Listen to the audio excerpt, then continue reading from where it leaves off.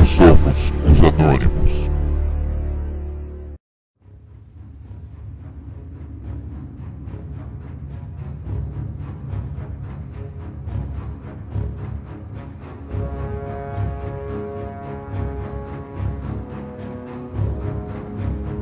Nesse exato momento, estamos a entrar na central da Rede Globo Produções